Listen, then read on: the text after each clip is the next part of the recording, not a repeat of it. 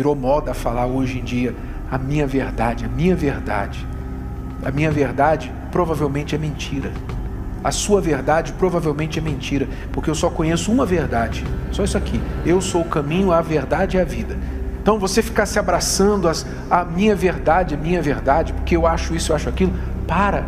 Para de se abraçar com as opiniões, como aquelas pessoas que, que afundam com o navio porque elas não querem deixar o barco. Igual o Titanic, tem gente que é assim, ela se agarra aos seus achismos. Não é assim que eu penso, nasci assim, vou morrer assim, e vai afundando, vai afundando. Não é capaz de soltar. Não, peraí, deixa eu, deixa eu parar e pensar um pouquinho aqui. Deixa eu, deixa eu abrir minha mente para um ensinamento diferente. Não, não é capaz de fazer isso. Então, vai afundando.